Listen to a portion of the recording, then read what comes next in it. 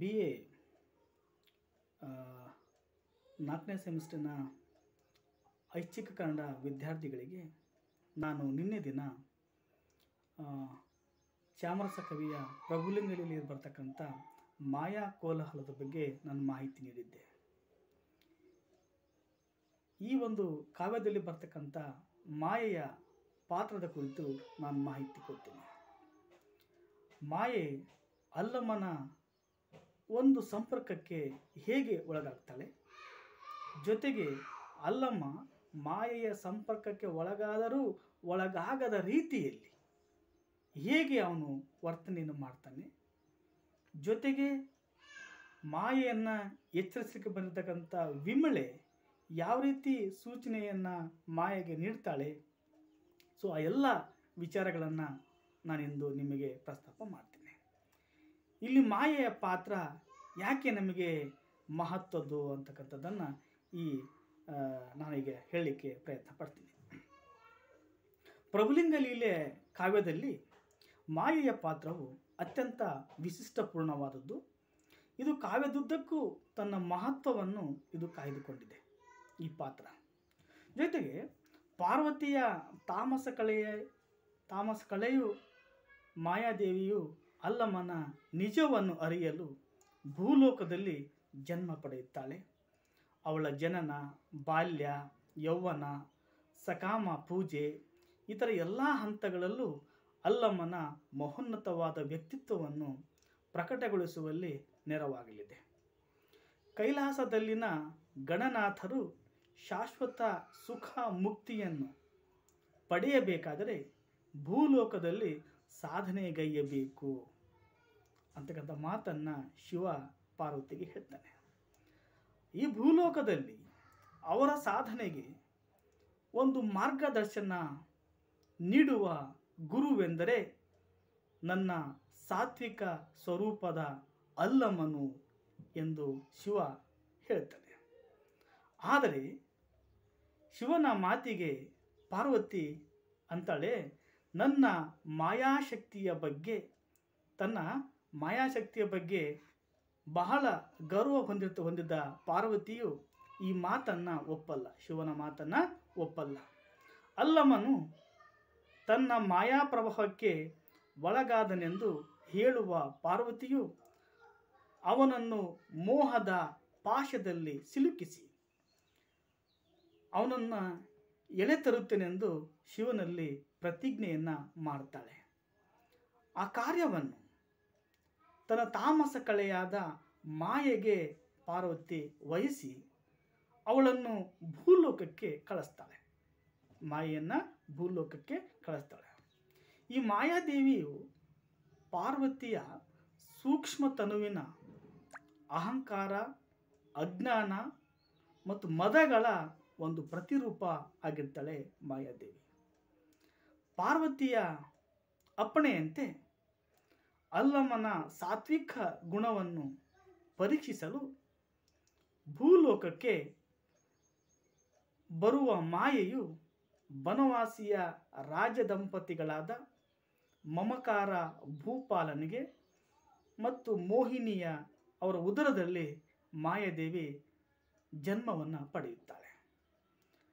ಆಕೆಯು ಈ ಭೂಮಿಯ ಮೇಲೆ ಜನ್ಮ ತಾಳಿದ ಮೇಲೆ ಅವಳ ಉದ್ದೇಶದ ಮುನ್ಸೂಚನೆ ಎಂಬಂತೆ, ಜನ್ಮ ತಾಳುವ ಉದ್ದೇಶದ ಮುನ್ಸೂಚನೆ ಎಂಬಂತೆ, ಆಕೆ ಹುಟ್ಟುತ್ತಲೇ ಮಹಾ ತಪಸ್ವಿಗಳ, ಋಷಿ ಮುನಿಗಳ ಕೈಯಲ್ಲಿರುವ ಜಪಮಾಲೆಯು ಕೈಯಿಂದ ಜಾರಿ ಬೀಳುತ್ತದೆ. ಸಕಳೆ, ಕಲಾವಿಲಾಸಿನಿ, ಮದನ ಮಾನಿಯರು ಮಾಯಾದೇವಿಯ ಸಖಿಯರಾಗಿದ್ದಾರೆ. ಮಾಯೆಯು ಮಗುವಿದ್ದಾಗಲೇ ನೋಡುಗರ ಮನಸ್ಸನ್ನು ಮೋಡಿ ಮಾಡುವ, ಮೋಹ ಆವರಿಸುವ ಆಕರ್ಷಣೆಯನ್ನು ಅವಳು ಹೊಂದಿರ್ತಾಳೆ. ತೊಟ್ಟಿಲಲ್ಲಿ ಮಲಗಿ ಕನ್ನಡಿಯಲ್ಲಿನ ತನ್ನ ಪ್ರತಿಬಿಂಬಕ್ಕೆ ತಾನೇ ಮರುಳಾಗಿ ಆ ಪ್ರತಿಬಿಂಬವನ್ನು ಹಿಡಿಯಲೆತ್ನಿಸುತ್ತಾ ಮಾಯೆಯು ತನ್ನ ಬಾಲ ಲೀಲೆಯಿಂದ ಅವಳಲ್ಲಿ, ಅವಳು ಮೆರೆಯುತ್ತಾಳೆ. ಹೀಗೆ ದಿನದಿಂದ ದಿನಕ್ಕೆ ಮೈ ಅರಳಿ ಚೆಲುವಿನ ಗಣಿಯಾಗಿ ಬೆಳೆಯುವ ಮಾಯೆಯು ಗಿಳಿಗಳಿಗೆ ನುಡಿಯನ್ನು ಕಲಿಸ್ತಾಳೆ, ಹಂಸಗಳಿಗೆ ನಡೆಯನ್ನು ಕಲಿಸ್ತಾಳೆ, ಕೋಗಿಲೆಗಳಿಗೆ ಹಾಡುವುದನ್ನು ಕಲಿಸುತ್ತಾಳೆ. ಆಕೆ ಯೌವನವನ್ನು ಕಾಲುಡಿತಿದ್ದಂತೆ ನೋಡುಗರ ಕಣ್ಣು ಕುಕ್ಕುವ ಆಕೆಯ ರೂಪ ಲಾವಣ್ಯಗಳು ಮಹಾನ್ ತಪಸ್ವಿಗಳ ಮನಸ್ಸನ್ನೂ ಸಹ ಚಂಚಲಗೊಳಿಸುತ್ತದೆ. ಯೌವನಕ್ಕೆ ಕಾಲಿಟ್ಟ ಮಗಳ ಮ, ಕಾಲಿಟ್ಟ, ಯೌವನಕ್ಕೆ ಕಾಲಿಟ್ಟ ಮೇಲೆ ಸಹಜವಾಗಿಯೇ ತಂದೆ ತಾಯಿಗಳು ಮಗಳ ಮದುವೆಯ ಚಿಂತೆಯನ್ನು ತೊಡಗುತ್ತಾರೆ ಆ ವೇಳೆಯಲ್ಲಿ ಅರಮನೆಗೆ ಬಂದ ಗುರು, ಅರಮನೆಗೆ ಬಂದ ಗುರು, ಆಗ ಗುರು ಅಹಂಕಾರಾಚಾರ್ಯರು ಚಾರರು ತಮ್ಮ ಮಗಳಿಗೆ ಗುರುವಿನ ಬಗ್ಗೆ ಕೇಳಿದಾಗ ಅವರಂತಾರೆ ಅಹಂಕಾರಾಚಾರ್ಯರು ಚಾರರು ಮಾಯಾದೇವಿಯನ್ನು ನೋಡಿದ ಅಹಂಕಾರಾಚಾರ್ಯರು ಮಾಯೆಯು ಸಾಮಾನ್ಯ ಕನ್ಯೆಯಲ್ಲ. ಸಾಮಾನ್ಯ ಮನುಷ್ಯರಿಗೆ ಇವಳು ಸತಿಯಾಗಲಾರಳು. ಇವಳು ಸಾಕ್ಷಾತ್ ಶಿವನಿಗೆ ಸತಿಯಾಗಬಹುದಾದ ಕನ್ಯೆ ಎಂದು ಗುರು ಹೇಳ್ತಾನೆ. ಮಾನವ ಮಾನವ ಮಾನವ ಕನ್ಯೆಗೆ ದೇವರು ಒಲಿಯುವನೇ ಎಂದು ರಾಜ ರಾಜ ಸಂದೇಹ ವ್ಯಕ್ತಪಡಿಸಿದಾಗ ಶಿವನ ಪೂಜೆಯಿಂದ ಎಲ್ಲವೂ ಸಾಧ್ಯವೆಂದು ಗುರುಗಳು ಹೇಳ್ತಾರೆ. ಗುರುವಿನ ಸೂಚನೆಯಂತೆ ತನ್ನ ಆಸೆ, ಆಕಾಂಕ್ಷೆಗಳನ್ನು ಪೂರೈಸಿಕೊಳ್ಳಲು ಮಾಯೆಯು ಮಧುಕೇಶ್ವರನ ಪೂಜೆಗೆ ಸನ್ನದ್ಧಳಾಗ್ತಾಳೆ. ಆದರೆ ಅವಳು ಮಧುಕೇಶ್ವರನ ದೇವಾಲಯಕ್ಕೆ ಹೊರಡುವಾಗ ಅವಳು ತೊಟ್ಟ ಉಡುಗೆ, ತೊಡುಗೆಗಳು, ಅವಳ ಆಭರಣ ಅಲಂಕಾರಗಳು, ಅವಳದು ಸಕಾಮ ಪೂಜೆ ಎಂಬುದನ್ನು ಸೂಚಿಸುತ್ತದೆ. ಸಕಾಮ ಭಕ್ತಿಯೊಡನೆ ಮಧುಕೇಶ್ವರನ ಪೂಜೆಯನ್ನು ಮಾಯೆಯು ಭೋಗಲ, ಭೋಗಾಕಾಂಕ್ಷಿಯಾಗಿ ಹಾಡಿ ತಾಳದಲ್ಲಿ ತರಹಿಸಿ ಮೆಲ್ಲನೆ, ಮೇಳದಲ್ಲಿ ಮೈನಿಗುರಿ, ಕರಸಂಚಾಳಿಯಲ್ಲಿ ಕೆಳಬಳಸಿ ಬಳಬಳಸಿ ಮುಡುಪಿನಲ್ಲಿ ಮಣಿದು ಲಾಸ್ಯ ಮಾಡುತ್ತಾಳೆ. ಏಕಾಗ್ರತೆ ಇಲ್ಲದ ಇಲ್ಲದ ತನ್ನ ಪೂಜೆಯ ಸಂದರ್ಭದಲ್ಲಿ ಕೇಳಿ ಬಂದ ಮದ್ದಾಳೆಯ ಧ್ವನಿಗೆ ಮಾಯೆ ಮೈ ಮರೆಯುತ್ತಾಳೆ ಮದ್ದಳಿಗೆನಾದ ಅಲ್ಲಮ್ಮನ ರೂಪದಿಂದ ಆಕರ್ಷಿತಳಾಗಿ ಅವನ ಸಂಘಕ್ಕಾಗಿ ಹಾತೊರೆಯುತ್ತಾಳೆ ಮಾಯೆ.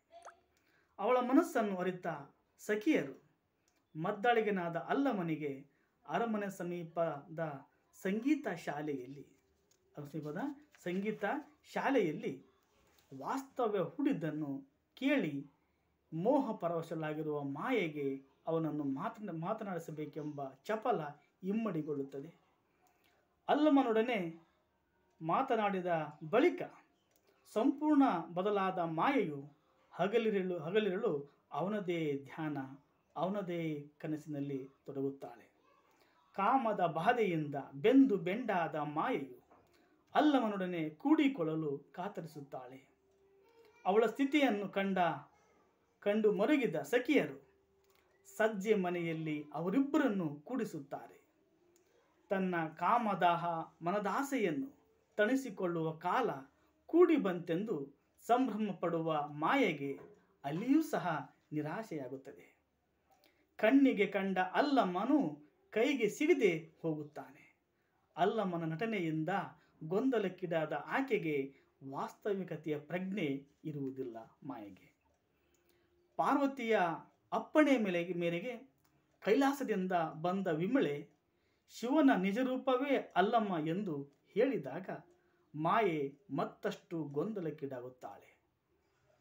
ಮಧುಕೇಶ್ವರನ್, ಮಧುಕೇಶ್ವರನ ದೇವಾಲಯದಲ್ಲಿ ಮಾಯೆಯು ನರ್ತಿಸುತ್ತಿದ್ದಾಗ ಅಲ್ಲಿದ್ದ ಮದ್ದಳಿಗ ಅಲ್ಲಮ್ಮನೇ ನಿಜವಾದ ಅಲ್ಲಮ್ಮನೆಂದು ವಿಮಳೆಯು ಸನ್ನೆಯಿಂದ ಹೇಳುತ್ತಾಳೆ ಮಾಯೆಗೆ. ಮಾಯೆಯಲ್ಲಿ ಮತ್ತೆ ಕಾಮಂಧತೆಯು ಜಾಗೃತವಾಗುವುದು. ಅಲ್ಲಮ್ಮನ ಮೇಲೆ ಪುನಃ ಮೋಹಪಾಶ ಬೀರಬೇಕೆಂಬ ಆಕೆ ಆಲೋಚಿಸುತ್ತಾಳೆ. ಅದನ್ನರಿತ ಅಲ್ಲಮ್ಮನು ಅಲ್ಲಿಂದ ಹೊರಟು ಹೋಗುತ್ತಾನೆ. ಮೋಹದ ಬಲೆಗೆ ಸಿಕ್ಕು ಬವಣೆ ಪಡುವ ಮಾಯೆಯು ಅಲ್ಲಮ್ಮನನ್ನು ಹಿಂಬಾಲಿಸಿ ನಡೆಯುತ್ತಾಳೆ. ಅಲ್ಲಮ್ಮನು ತನಗೆ ಒಲಿಯುವುದಿಲ್ಲವೆಂದು ಖಚಿತವಾದಾಗ ದುಷ್ಟ, ಧೂರ್ತ, ಮೋಸಗಾರ ಎಂದು ಅವನನ್ನು ನಿಂದಿಸುತ್ತಾಳೆ. ಮಹಾನ್ ಋಷಿಮುನಿಗಳು, ವಿಷ್ಣು ಬ್ರಹ್ಮಾದಿಗಳೇ ತನ್ನ ಸೌಂದರ್ಯಕ್ಕೆ ಮನಸೋತಿರುವಾಗ ಈ ಅಲ್ಲಮ್ಮ ಮಾತ್ರ ತನಗೆ ಒಲಿಯದಿರುವುದಕ್ಕೆ ಆಕೆ ಕಿಡಿಕಿಡಿಯಾಗುತ್ತಾಳೆ. ಅಲ್ಲಮ್ಮನ ಹೃದಯ ತನ್ನ ರೂಪ, ಲಾವಣ್ಯ, ಬಳುಕು, ವೈಯಾರದಿಂದ ಕಾಮ ಬಾಣವನ್ನು ಬಿಡಬಲೆನೆಂದು ಬೀಗುತ್ತಾ ಬಂದ ಬಂದ ತಾನೇ ಕಾಮದ ಬಾಣೆಯಲ್ಲಿ ಬಿದ್ದು ಬೇಯುವಂತಾಯಿತು. ನಗುವವರ ಮುಂದೆ ತನ್ನ ಪಾ, ತನ್ನ ಪಾಡು ನಗೆ ಪಾಟ್ಲ, ನಗೆ ಪಾಡಲಾಯಿತೆಂದು ಮಾಯೆ ರೋಧಿಸುತ್ತಾಳೆ. ಹರಿದೆಯನ್ನು ಮೆಟ್ಟಿದೆನು, ಶಂಕರನ ಅರ್ಧಾಂಗ್ಯದಳು ನೆಟ್ಟನೆ ಉರಿಸಟಿಗೆ ಮಾಡಿದೆ ಎಂದು ಗರ್ವದಿಂದ ನುಡಿಯುತ್ತಾಳೆ. ಅವಳ ಪರವಾಗಿ ಸಖಿಯರು ಮಾಯೆಗೆ ಪ್ರೇಮ ಭಿಕ್ಷೆಯನ್ನು ನೀಡುವಂತೆ ಅಲ್ಲಮನನ್ನು ಪರಿಪರಿಯಾಗಿ ಬೇಡಿದರೂ ಅಲ್ಲಮನು ತನ್ನ ವಿರಕ್ತ ಭಾವವನ್ನು ಬದಲಾಯಿಸಿ, ಬದಲಾಯಿಸದೆ ತಾನೊಬ್ಬ ಅಪ್ರತಮ ಅಪ್ರತಿಮ ವೈರಾಗ್ಯ ಮೂರ್ತಿ ಎಂದು ತೋರಿಸಿಕೊಳ್ಳುತ್ತಾನೆ ಈ ಕಾವ್ಯದುದ್ದಕ್ಕೂ ಮಾಯೆಯ ಉನ್ಮತ್ತಿ, ವೃತ್ತಿ, ಭೋಗಭಿಲಾಷೆ, ಭ್ರಾಂತಿ, ಅಜ್ಞಾನ, ಅಹಂಕಾರ ಗುಣಗಳನ್ನು ಕವಿ ಎತ್ತಿ ತೋರಿಸಿದ್ದಾನೆ. ಜನ್ಮದಿಂದಲೇ ಮೋಹ ಗೊಂಬೆ ಎಂಬಂತೆ ಕಂಡುಬಂದ ಮಾಯೆಯು ಯೌವನದಲ್ಲಿ ಕಾಮಾಭಿಲಾಷೆಯಿಂದ ಪಡುವ ಬವಣೆ, ಅಲ್ಲಮ ಸಂಘವನ್ನು ಪಡೆಯಲು ಹಾತೊರೆಯುವ ರೀತಿಯ ರೀತಿಯು ಕಾವ್ಯದಲ್ಲಿ ಮಾರ್ಮಿಕವಾಗಿ ಇಲ್ಲಿ ಮೂಡಿ ಬಂದಿದೆ. ಪಾರ್ವತಿಯ ತಾಮಸಿ ಕಳೆಯಾದ ಮಾಯೆಯು ಕಾಮ, ಮದ, ಮೋಹ, ಮತ್ಸರಗಳ ಸಾಕಾರ ಮೂರ್ತಿಯಾಗಿ ಇಲ್ಲಿ ಪ್ರತಿಬಿಂಬಿಸಿದ್ದಾಳೆ. ಮಾಯಾದೇವಿಯ ರೂಪ, ಲಾವಣ್ಯ, ಆಕೆಯ ಅಲಂಕಾರ, ಸಕಾಮ, ಪೂಜೆಯ ವೈಭವ, ಸಂಗೀತ ನರ್ತನೆಯ ಸೊಗಸು, ಆಕೆಯ ಮನದ ಕಾಮನೆಗಳು ಈ ಕಾವ್ಯದಲ್ಲಿ ಸ್ವರಸ್ಯಕರವಾಗಿ ಮೂಡಿಬಂದಿದೆ. ಪ್ರಭುಲಿಂಗ ಲೀಲೆಯ ಬರ್ತಕ್ಕಂಥ ಮಾಯೆ ಕೊನೆಗೆ ಅಲ್ಲಮ್ಮನ ಪ್ರೀತಿಗೆ ಒಳಗಾಗಿ, ಕೊನೆಗೆ ಅಲ್ಲಮ್ಮನಿಂದ ನಿರಾಸೆಗೆ ಒಳಗಾಗ್ತಾಳೆ. ಪಾರ್ವತಿ ಶಿವನಿಂದ ಪ್ರತಿಜ್ಞೆ ಮಾಡಿ ತನ್ನ ತಾಮಸ ಕಲೆಯಾದ ಮಾಯೆಯನ್ನು ಭೂಲೋಕಕ್ಕೆ ಕಳಿಸ್ತಾಳೆ. ಇಲ್ಲಿ ಆ ಒಂದು ತನ್ನ ತನ್ನ ಕಾರ್ಯದಲ್ಲಿ ಮಾಯೆ ವಿಫಲಲಾಗ್ತಾಳೆ ಇಲ್ಲಿ ಪಾರ್ವತಿ ತನ್ನ ಸೋಲನ್ನು ಅನುಭವಿಸ್ತಾಳೆ. ಇದು ಈ ಕಾವ್ಯದ ಒಂದು ಸಂಕ್ಷಿಪ್ತ ಒಂದು ಮಾಹಿತಿ. ಹೀಗಾಗಿ ಇದರ ಮುಂದುವರಿದ ಭಾಗವನ್ನು ಮುಂದೆ ಮತ್ತೆ ಮುಂದುವರಿಸ್ತೇನೆ. ಎಲ್ರಿಗೂ ನಮಸ್ಕಾರ.